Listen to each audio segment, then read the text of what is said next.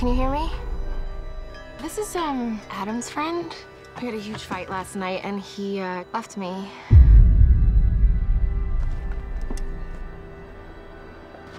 Stop the car!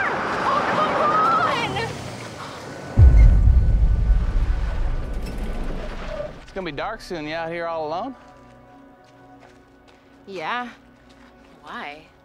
No reason. Just seems dangerous or whatever. What's wrong with that?